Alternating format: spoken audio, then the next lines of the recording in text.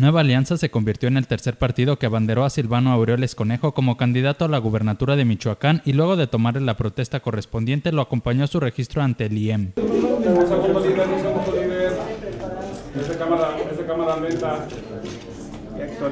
Acompañado del secretario general del Comité Nacional de Nueva Alianza, Alfredo Valles Mendoza, y de Araceli Martínez, líder estatal y decenas de militantes del PANAL, Aureoles Conejo pidió unir esfuerzos para construir una ruta que permita reorientar el rumbo de la entidad.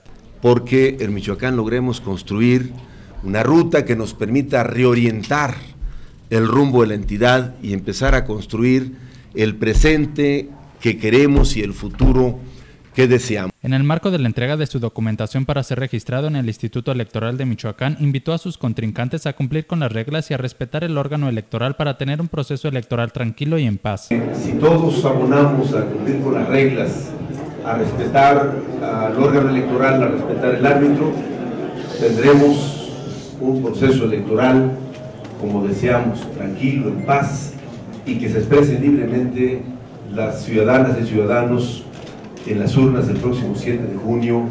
El jueves 19 de marzo, Silvano Aureoles se registró ante el IEM como candidato del PRD al gobierno de Michoacán. El lunes 23 lo hizo como aspirante a este cargo por el Partido Encuentro Social y ahora tras hacerlo en Nueva Alianza solo falta definir si el Partido del Trabajo también lo arropará en sus filas. Con información de Oscar Suárez Informa, Cuasar TV.